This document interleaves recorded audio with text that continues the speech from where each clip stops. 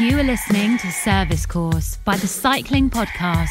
I don't talk to a program where they don't ask about other bikes to do other events. So if I'm talking to a road team, a women's road team, they all ask me about how do I also supply cyclocross and gravel bikes for my riders. With Lizzy Banks and Tom Whalley. Lizzy, uh, good to see you. Uh, for the first time ever on this podcast, we're not actually together. No, well, I'm by a crackling fire and I'm pretty much in the Peak District. But but Tom decided today that the weather was too bad uh, and he didn't want to ride. So the first time today, we're doing a remote recording from our homes.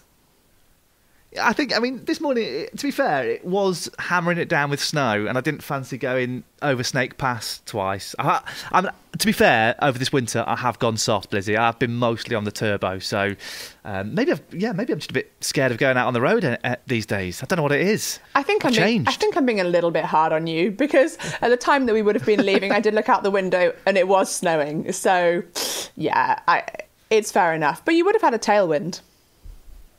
I do live on the colder side of the uh, Pennines, though. excuses, excuses, Tom. um, so, Lizzy, uh, what are we doing in this episode? So, this month we're looking a bit at the ins and outs of the 2020 peloton, and we're really focusing on riders that have stepped up from a domestic to a Conti level or Conti to, to World Tour. Um, and we're looking at their experiences of what it's like to, to change teams, to change equipment, change pedals, um, experience all these new things like nutrition, health tests, um, bike fits and yeah just just look at the challenges that they face in moving teams and how they adapt to life in the new teams I found that stuff really interesting. But the first piece we're going to do, and this came about from just an observation from you, when we were looking at when we were looking at the the kit and the tech that people are riding this year. Um, you pointed out to me that Cannondale, particularly, had uh, increased increased their um, visibility in the women's peloton. Yeah, absolutely. I noticed that this year, they're sponsoring Drops, the British team, Valcar, the Italian team, and Tibco Silicon Valley, Valley Bank, the the women's American team. And in the men's world tour, as we all know, they've got EF Education first. And I really wondered why is it that they've got three women's teams? Was it just an accident, or is there a reason behind it?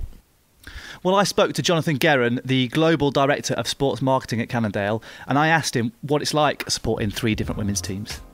Sometimes that strategy is a good strategy, and we have a nice plan around it this year. Sometimes having too many programs it can also not be the best strategy. Um, you know, but these programs, one of the things that's so exciting about women's racing, you know, is that these women and how um, dedicated to the support they are in that yes, they train as professional athletes, but outside of the sport, a lot of them carry higher level educations and including postgraduate degrees and do work outside of cycling as well, just to be able to ride bikes as a professional athlete. So um, it's really inspiring stories to be a part of, which is why, you know, with Drops and Tibco um, and Valcar, we we really excited to be partnered with these teams just because of the stories we think we can tell around these athletes. So I was interested to know whether it was deliberate on the part of Cannondale to expand its support of women's teams, or whether it was just a happy accident. It's not an accident at all. Um, and in fact, um, going back to World Championships in Richmond, Virginia. Um, so what is that now? Four years ago, this year, right? Um, you know, we only had uh, a limited showing in the women's field, and particularly in the amateur ranks for Cannondale bicycles at that at that race, while we were quite heavily represented in the men's field.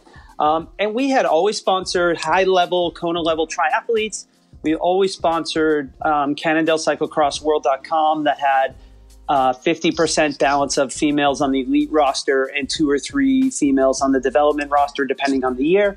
Um, so we had always, and then on the mountain bike side, we had always supported like the Stan's women's elite team, um, and we've had uh, female athletes on the Cannondale Factory Racing program. We've always supported very high level female athletes across the disciplines. It just felt like, uh, you know, we were maybe absent from one key discipline that was a bringing quite exciting racing to um, that audience and two, um, really deserves that high level support that the male programs get as well. So, Lizzy, how does it work with your um, equipment sponsors? Are, are, you constantly feeding back to them in order to find ways to improve their products? Yeah, definitely. We, with our bike sponsor Chapter Two, we had some things where we talked to them about how they could improve the seat post clamp, for instance. Um, and this year we've got uh, a new sponsor, a new title sponsor, and a new kit sponsor with Katusha, and they joined us on camp. And what was really eye opening eye opening for me was how much they want us to test the products, feedback, and they really want to make the products the best they possibly can be. And they're using us as a test team because we ride this stuff all the time. We spend half our life in this kit and we know exactly what yes, what we need to do our jobs well and to be the best professional athletes we can be, but we also know what other people want to feel comfortable, to look good, um, to keep warm in winter. Things like having a longer cuff on a sleeve, things like um, having grips on gloves, you know? So, all these little bits of feedback, just things like. Uh, having a cuff on the top of a zip so it doesn't rub your neck. All these little bits of feedback we give back to our sponsors. And it's not just for kit, it's for tyres as well. We tell them how they feel, it's for wheels, everything. And it enables um, the manufacturers to make the best products they can, not only for the professional athletes, but mostly for the public out there who are actually buying these things. Well, I wanted to learn more about this from Jonathan, and I wondered whether it was too early to tell yet whether working with three women's teams would influence future designs. No, it, it's it's not too early to tell, and in fact, um, at most of the team camps we send, we have a PhD aerodynamicist, a guy named Nathan Barry, um, who helped us develop the System Six as the fastest bike in the world, and then he he updated the the new generation, the current generation Evo, with his aerodynamic experience and balancing what the Evo style riding bike is for a, a, a, road stage or a mountain stage and things along those lines. But in talking with him and his design aesthetic and his um, aerodynamic uh, concerns and performance concerns, he goes to the women's team camps with us. He explains to them the science behind the bikes, and you have to you have to consider um, you know, how a female sits on a bike, how a female races a bike in conjunction with how a male sits on a bike and how a male races a bike, um, both at the elite level and then down through the amateur ranks as well. Because ultimately, as a bike manufacturer, we're here to provide a better riding experience to the amateur rank, uh, amateur ranks of cyclists that are um, that are engaging with the sport through their local retailer and stuff along those lines. And that feedback, whether it's saddle position, handlebar position, um, stack and reach, uh, com- frame compliance all comes back to our engineering team from a variety of sources and factored into our evolutions and our bike designs going forward. Um, and and for sure, that story for us wouldn't be as true of a story if we are not supporting women's teams that are racing in the best races in the world. Well, we'll hear more from Jonathan later in the episode. Um, he's got some particularly interesting things to say on the future of working with professional teams and the sort of things that riders want that have, that's changed a lot over the years. Um, but now I wanted to talk to uh, a few riders who have changed teams, who've stepped up from the amateur ranks to, to turning pro. Um, because it's a, it's a big change. I mean, you've just come from your your team training camp, um, was early this month, and I I've been at a team training camp, and it's it's incredible to see the amount of equipment that you're briefed on and that you're given and you're presented with at team camp. I mean, for, I mean, for instance, your last camp, what were you given? So we already had all of our bikes. Um, well, the riders who were in the team last year already had all their bikes set up and obviously all the measurements were set up and it was a few people had tweaked a few things so i got a i had a new pair of shoes over the winter so i'd actually tweaked my saddle position so then i brought you know, I just brought my seat post and said, please replicate this. Um, and I brought all of my TT equipment, my armrests. Again, my seat post said, please replicate this on my race bike and my training bike. But for the new riders, obviously, it's kind of getting used to all of that setup, getting used to the different feel of different wheels, different tyres, um, different components, different size handlebars. Um, but we also received all of our kit. And I think kit uh, is a really big thing because it's so important in so many races to be the right temperature. If you go into a classics race and it's throwing it down and you're not wearing the right clothing, you're not going to do well in the race.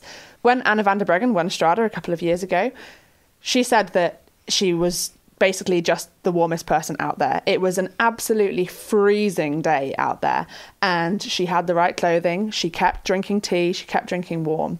So, having all this kit, you have to get to know the kit. You have to know what kit you need for different scenarios. And um, yeah, so it's just kind of getting accustomed to, to everything that you're using, all the different tech, the new different nutrition products. Some people like gels, some people like mix, some people like water. Um, but if you don't take the right products, then it can really screw up your day in a race. Well, let's hear from a couple of women who've moved teams over the winter. Are, they both sort of stepped up? Is that what we'd say? Yeah. So I spoke to Katrine Aalerud, who'd stepped up from Virtu Cycling to Movistar on a two-year contract, uh, and also to Niamh Fisher Black, who was riding in the UK domestic scene in 2019 and joined our team at the end of 2019, and now is on a two-year contract from 2020. I kicked off the season with a UCI 1.2 race in New Zealand, New Zealand's only UCI race, oh, well, for women anyway. Um, and it's called Gravel and Tar, and obviously by its name, it's got a fair bit of gravel in it. So I won that so with a big solo effort. So that was a pretty tough way to start the season. That was good. And then next up, I had the national championships, which um, yeah, that, that, couldn't have gone better, and um, finished off with the hands in the air. So that's always pretty good, and and now get a wear a national jersey for the rest of the year. So last year you were racing in the UK with Torelli. Torelli Assure, yeah, yeah, yeah, a British team. So what's the what's the level of support like in a, a typical UK domestic team, if any? Yeah, well, I mean, obviously I can't say there was very much support at all, but but but it got me the races, um, so that's all I cared about really. But um, yeah, compared to I think when I stepped into Bigla at the end of last year, it was a rather eye opener to to know that the sport can actually be quite a lot different, and going to a race can be a lot easier than. Um, than it would be if you're racing with just a domestic team because obviously the support is just on another level. In terms of the tech that you receive, okay, so tech traditionally is your bikes, but actually tech, technical support from a team can, in my opinion, encompass so many more things like staff members, soigneurs, masseurs. Um, top teams will have sports psychologists, nutritionists, things like that. Access to products. Do you? What do you think for you is the biggest change in terms of any kind of tech support between a domestic and a and a and your professional team, Bigla Katusha?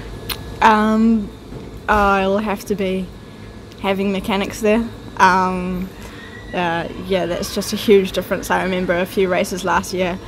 Uh, one in particular, I, the night before the race, I was on the floor of my hotel room changing my bike from a SRAM group set to a Shimano group set. Um, uh, watching YouTube videos, GCN actually, on how to do how to do this, and calling my dad at the same time. But um, we got there, and I got to the race the next day, so that's good. But now with with Bigla, I just have to walk out of my hotel room and down to the bikes, and my bike is there, ready, sparkling clean, and I don't have to worry about a thing. So this year I ride a Chaps 2 bike, um, uh, which is a Huru uh, with this the climbing bike. and on the Chaps 2 bike, we ride uh, Vittoria wheels and Vittoria tyres. Um, I ride rotor cranks, and with that, with rotor power meter, and obviously a Shimano group set. So, is the setup different? How different is it from your previous setup? And did you find it difficult to change bikes from from the bike that you had before to this bike? Like, is it a difficult thing changing pedal systems, for instance? Um, or frame sets? Yeah, well, yeah, it was all a big change, and I was lucky enough that I could take a bike home to New Zealand and spend the summer uh, getting used to it. Yeah, so I came from a S-Works tarmac actually, so slightly different different geometry, and it was was quite a lot of getting used to actually. But I really really like the Chapter Two Huru now, and in terms of pedals, I definitely had some problems with the speed plays to start with. I um am a smaller rider, so so I had some trouble getting my feet clipped in actually. but um, I've worked on it, and and I'm I'm getting there now. Still still struggle sometimes, but I'm getting there. We're using Canyon and uh, SRAM. And this is what Katrine Aalerud from Movistar had to say about stepping up to the Women's World Tour. Actually, quite happy. It's a big step from last year, I feel. So, especially the time trial. and what did you use last year? Uh, Storck. It's like the road was was good, but the time trial it was shit. Just to say it like, and also it's more professional with the Movistar because we have like people that know like for the bike fit fitting for the road bike, but also do like a wear test for the time trial bike, and it's like so much more professional. Um, you get like already so early in the season to get used to the bike and how you should be positioning on the bike. And also for the time trial, of course, like it's really important how you're sitting on the bike, not just like riding the bike, but how area you can be. So that's quite happy for. They use a lot of money on us. So you didn't have any problems then going from one bike to another because you, you yeah. had the support? Yeah, because like also when I got a new bike, I didn't feel like I got any problem with my knees or my back or shoulders or anything. Like I felt like it was a smooth uh, going to the new bike. The good thing part also like we have for the uh, team is like the bike fitting for the shoes, like how the cleats is sitting out under the shoes. So that's also important when you, even if you have the same, you I will change uh, shoes like physic. So it's also good to get that also supported. For me, before I was just like, oh, I just put uh, the cleats under the shoes, and then okay, maybe I feel how it goes if I get hurt or if it's okay. and maybe sometimes it will a little bit different. I take what I get we get like the same support that the men do now and it's like so imp- important with nutrition because like it's like the gas for how you going to use the bike. And uh, it also like with the mental like if you're going to work it's important if you sometimes you actually need to talk with someone. And then it's nice to have the option to actually have the access to do it because sometimes even if you don't feel like you need it it's actually quite nice because you can just uh, let your mind uh, open and also sometimes they can help you maybe help you think about situation and maybe yeah help you. You don't need to have a problem but just maybe just to have one there is also nice. To be a good athlete you actually need most support around and see that you are healthy and ready for fight It's interesting to hear from Niamh there, you know, the, the struggles of a, a domestic racer having to change a group set the night before a race. Yeah, I mean, I, I've been in similar situations like that to Niamh all the time when I was racing domestically. You're so often, you know, you've got one bike, you don't have a training bike and a race bike, you've got one bike, and, and trying to keep it trying to keep it in good nick over a British winter is hard, and then you're using it all the time, and you've got to make sure it's right for racing, and inevitably things go wrong. And when you don't have professionals to help you keep on top of things, and you've got the added stress of life, maybe a job, maybe university, traveling to the races, all these other things, it can be really hard and it can be really stressful. So suddenly, when you're in that environment, um, you know, like she said, you come down from breakfast, your bike's there, it's sparkling clean, you don't have to worry about a thing. It's just such a big change. I think one of the other interesting things, and it was uh, Catherine that mentioned it, was the um, access to TT equipment. Because obviously, as a domestic pro, you've probably got your road bike, you may have access to uh, a time trial bike, but once you step up to that level where this kit is supplied, the difference between your equipment is night and day, right? And, and obviously, this is something that you know obviously applies to you because we know how much you concentrate on doing time trials and, and improving your time trials. Yeah, definitely. I'm really fortunate on my team that I get, uh, we're supplied with a, tra- a time trial bike for training at home, and then we have exactly the same setup with uh, a racing time trial bike that the team keep. So I know that a lot of teams aren't able, for financial reasons or sponsorship reasons or whatever, to provide the riders with a training time trial bike. And the way I see it is how the hell can you train properly if you're not able to create that positional adaptation? You know, you're not going to be able to put power out in that position if you can't ride that bike. So, yeah, Katrine Aalerud was saying about how in October they go to the camp, they have the fitting, and then they do the aero testing because you want to see what position is the fastest. There's no point getting used to a position and then going, oh no, we need to bring you down two centimeters to make you faster, because then suddenly you can't put power out. So it's about getting the right balance of power, comfort, and speed. And if you're not comfortable, you're not going to be fast. Well, let's hear from um, a couple of men who've also stepped up a level this year. Uh, who did you speak to, Lizzy? Yeah, I spoke to Finn Fisher Black, Niamh's brother, who had a pretty flying start to the season. This year, you uh, had a really successful campaign at Nationals. You won the under 23 ITT, and in the Elite Roads, I assume you were working for George Bennett, but you still managed to win the sprint from your group to take 10th and win the under 23 jersey.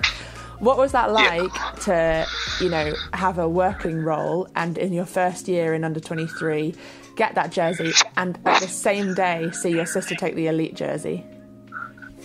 Yeah, I mean it was it was it was pretty cool for me, uh, especially after the TT, which was my main focus for myself for the weekend. And um, I knew going into the road race, I was all in for George, and uh, I was was um, planning to be George's big day. And uh, I think we almost pulled it off, and everyone kind of saw that out there that was watching. So. Um, it was a pretty close day, and I was I was lucky to just find myself in the selection at the end for under 23, and um, with uh, three other guys, and it just came down to a sprint. Just had to empty the rest of the legs out. But um, yeah, it was pretty cool coming across the line, and um, Harry and David won as well, and then going home to see the footage, and it was a pretty, pretty amazing win from her, to be honest. Yeah, yeah, that's definitely something that doesn't happen every day. It was really cool. I was actually, yeah. I was actually staying up watching it, and uh, then like everybody else was asleep, and I was texting my director like, "Oh my god, Niamh just won!" and sent him the video. It was so cool.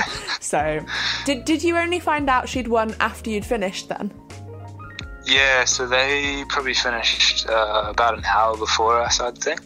And um, so yeah, I came across the line and um, yeah, I mean, there was a whole load of emotions. It was like I was absolutely heartbroken for George, but then I was, you know, I had to be happy myself for the U23, and then everyone was coming over and like, yeah, Niamh won as well, and I was like, oh, sick, like she must have just like ridden away from them and that. But then I, I go home and watch the finish, and it's like a sprint, and I was just like, what?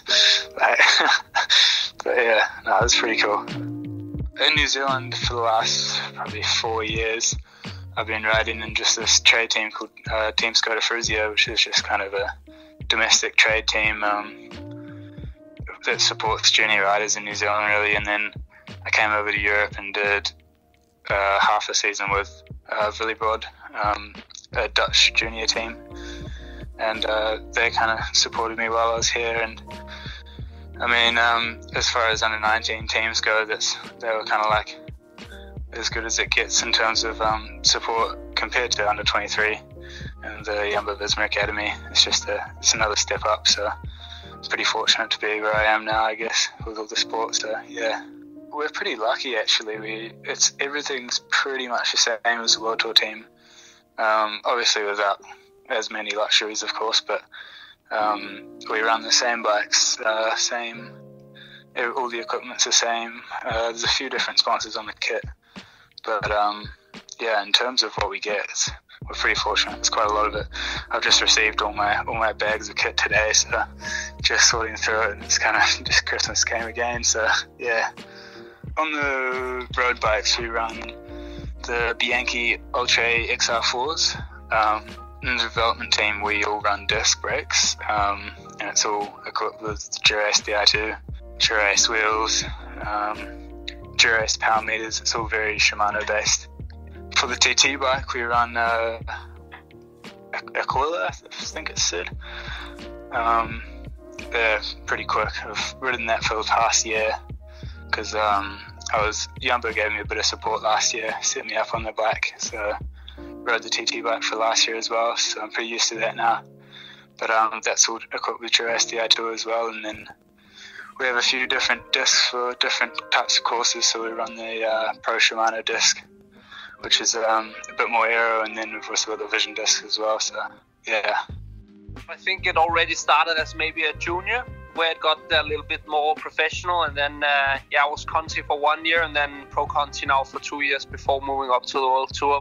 My name is Mikkel Bjerg. I ride for UAE Team Emirates. In a way, it was just a small step every year, and uh, but still now at the, at the World Tour, it's um, yeah the the difference is is, uh, is is very big for sure because everything has to be monitored and uh, because people invest a lot of money and time in in the project, then they also want to see results and yeah, and they want to make sure that the riders pre- perform in yeah, the best possible way.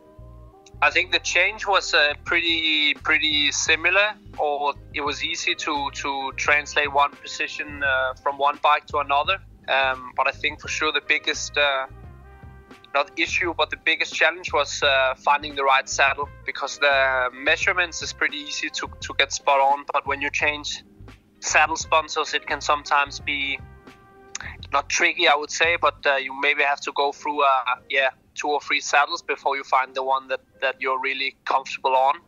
And that's for sure something that was not always provided when you are, yeah, even a junior or a continental uh, level rider. Even you just get given one saddle and you have to ride with it, or maybe you only have one and, and yeah, can only afford one saddle. I right now uh, ride on a Colnago. Um, it's called the K1 uh, I believe, the time trial bike um, with uh, Campagnolo Super Record. Uh, yeah, uh, yeah, group set and uh, yeah, Campagnolo wheels and uh, Prologo saddle. Um, I think obviously when you sign the contract and everything is very nice and you think fuck it, everything is possible and you see really young guys already performing really early, guys like Remco and yeah Bernal and yeah, and uh, whatnot. But uh, and then starting to race a little bit uh, in the World Tour field. I did um, Tour Down Under in Australia here in uh, January, and then just finished off El Algarve yesterday. And uh, yeah, I got my ass kicked a little bit on the time trial. So for sure, it's it's a transition that uh, that also mentally you need to prepare for to suffer a little bit more than you're maybe used to in under 23s. You're one of the very rare people that's gone from disc to rim. How did you find that? Yeah. Uh, the transition actually uh, was l- like, I think going from disc, or sorry, from rim to disc, that really feels like, whoa, I can really stop now. Like, uh, it's almost a mentally, it's uh, it's bigger because then when you change back to rim brake, it's like, okay, this is actually more or less the same. So I don't know what the fuss was about before actually. So so actually I would say that the change is not so big, but I think also maybe it depends on which yeah which wheels you have and uh, which um, yeah what's it called brake uh, pads you have. I changed um, pedal systems from uh, Speedplay to uh, Look uh, and I think always when you change systems, uh, yeah, it.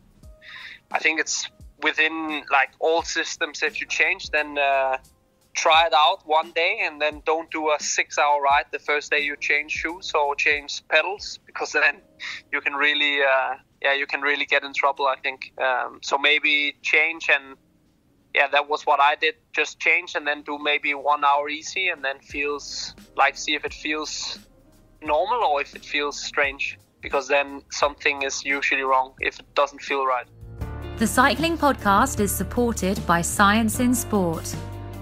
Science in Sport, fueled by science. Thanks, as always, to Science in Sport for their continued sponsorship of the Cycling Podcast and all that we do here.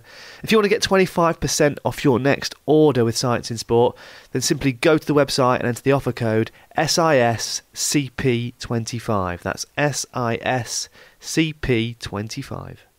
I think one of the things that I took from that and that I don't know if it surprised me, but when Finn was talking about um, the setup at the Jumbo Visma under 23, it was effectively the same as a World Tour team and much better than most women's teams, dare I say it. Yeah, I mean, you're completely right. I would say the, the setup in the under 23 development team is about the same as the very top women's world tour teams.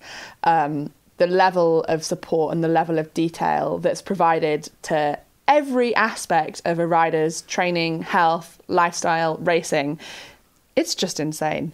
You know, it's not that common in the women's peloton. Obviously, Katrine Aalerud was telling us about how it is like this in Movistar. The women are treated the same as the men. They get the same resources, and hopefully that the women's world tour system will will push push the teams to to make this more common and more the norm. Um, but we're definitely not there yet. So it, it's really quite crazy to hear what you know an 18 year old on a U23 development team receives in terms of support. What was it like? I mean, you've changed teams. I mean, so going from your amateur days, you did a bit of time with Storey, and then you were with United Healthcare over in the States, and now with Bigla Katusha. What were those jumps like for you bet- between the teams? And, and and was it difficult for you getting used to new equipment? Yeah, and even in the domestic level, you know, I stepped up a few times. So each time it's been a step up, and each time you kind of go, oh wow, you know, I didn't realize it could be this easy. I didn't realize this support could make such make such a difference. I have changed bikes a lot. Um, I think I've had maybe five or six different bikes, and um, it can be hard to switch over. But as long as, like Mikkel said about when you're you're changing cleats uh, and pedal systems, you don't get on a new bike and go and smash out a really hard four hour ride. You get on a new bike, you get on the new shoes, you get on the new pedals, and you ride easy. You wait till it feels a bit better. You might even go back to the old set of pedals and shoes for a couple of rides if you're not quite sure, uh, if you want to do a hard training session or something. And then you steadily increase it. The best time to do it is off season or um, if you're an amateur, just when, when things are a bit lighter. Um, and it enables your body to slowly adapt. Um, and then yet you have that positional adaptation and then you get used to it and then you don't get an injury it's when you go bam straight in um, that's when you get the problems Mikkel also spoke there about uh, swapping between rim brakes and disc brakes. Um, have you ever had to do that that jump at all, is he? No, I've never used disc brakes, but I think it was really eye opening that he said, yeah, when you swap back to rim, the difference isn't as much as you think. And perhaps we need more people on the peloton saying this because you always get the opposite. You've always got the people who are going from rim to, to disc and they're publicizing and they're saying, we should have just disc in the peloton. Um, it's so dangerous to have a mix. And then actually, you've got Mikkel saying, well, the difference really isn't as big as you think it is. Um, and perhaps it's more of a psychological difference. So I think that's a really interesting way to look at it. And perhaps that's a, a voice that needs to be heard a little bit more. Well, it's interesting because it all comes down to, to marketing, doesn't it? And we're going to go back now to Jonathan Geran, uh, Global Director for Sports Marketing at Cannondale. Um, we heard from him earlier on talking about the uh, three women's teams that they are supporting this year.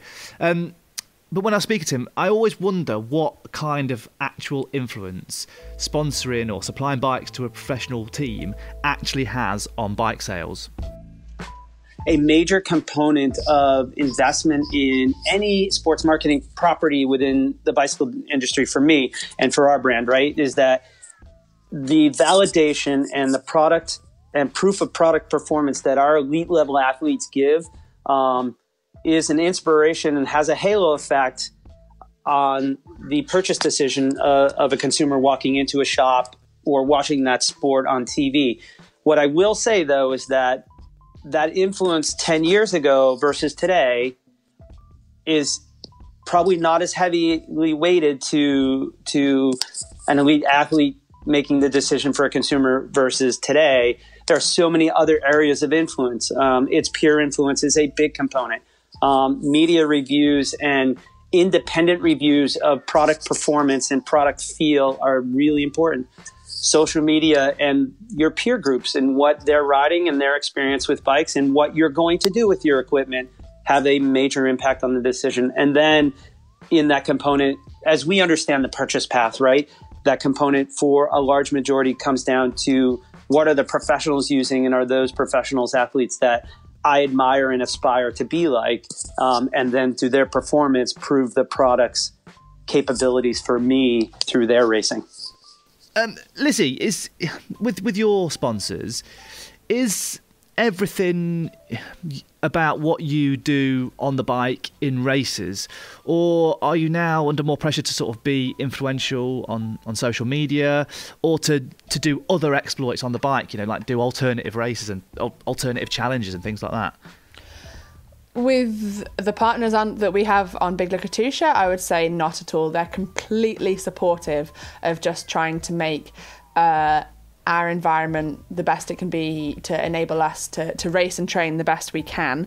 Um, they don't push you to to post on social media or you know um, do crazy other adventures. I'm definitely the kind of person who likes to do other crazy other adventures.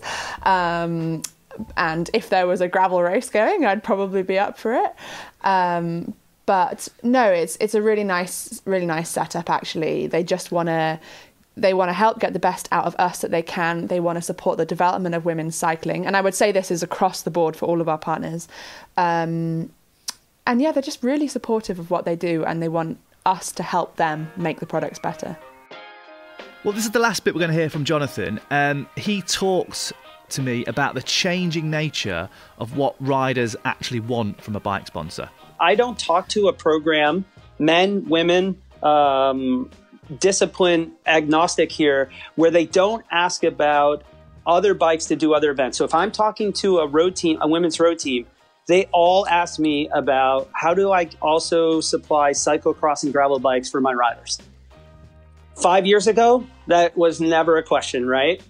It was never like, it was never a question about, listen, what material we would supply in a contract was only specific to the road. Today, we have to think much more expansive about what we supply to the team because for sure they're all thinking about how to mix up training, mix up their riding, be better cyclists by doing multi disciplines, even if it's just in training.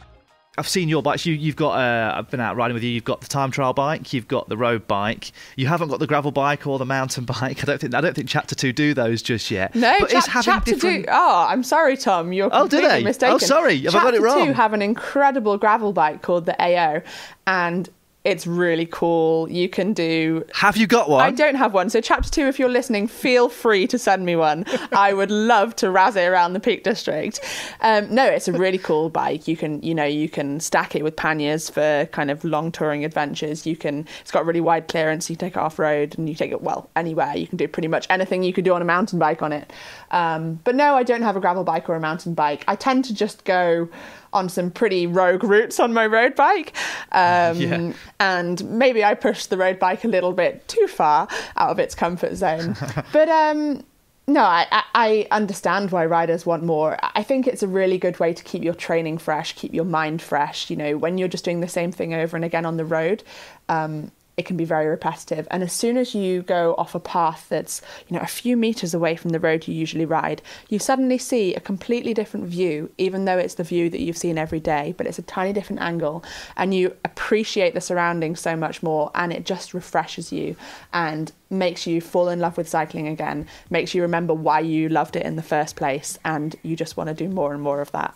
I basically need to get out of the shed, don't I? Um, I'm wondering if you've seen this with other riders, though. Like, you know, riders um, changing their training, so they they are having that they want these different bikes from their suppliers, just to keep their training interesting uh, and fresh, I guess.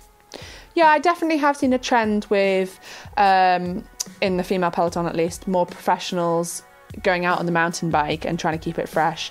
I think it's a great way to to increase your skills, develop your cornering abilities, develop your confidence as well. Well, that's it for this month, uh, Lizzy. Hopefully, ne- for next month's show, uh, we can actually get together. Hopefully, I'll be be able to venture outside. I'll be back on the road. Don't worry, Tom. I can always cycle over Snake Pass twice so that you don't have to.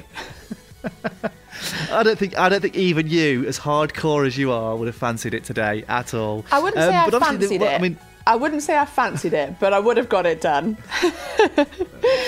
Um, so uh, between now and the next episode, uh, where are people going to see you, Lizzy? Where, where are you off to? I know you're off to Belgium later today or tomorrow. Yeah, Omloop Het Nieuwsblad and Het Hageland this weekend, then over to Strada, um, then back to Drenthe in the Netherlands the following weekend, and if it's not cancelled due to coronavirus, then uh, back to Trofeo Binda in uh, in Italy, north of Milan. Well, good luck for all of that, and uh, I'll see you next month. Thanks, Tom. This episode of Service Course was produced by me. Our theme music is Beyond the Black Veil by the brilliant Moscow Youth Cult. Do go and check them out. Additional music also comes from Moscow Youth Cult's John Dix. Thanks as ever, John. And the rest of the tracks in the show come via Epidemic Sound. For details of the individual tracks, then please check the show notes. Thanks again.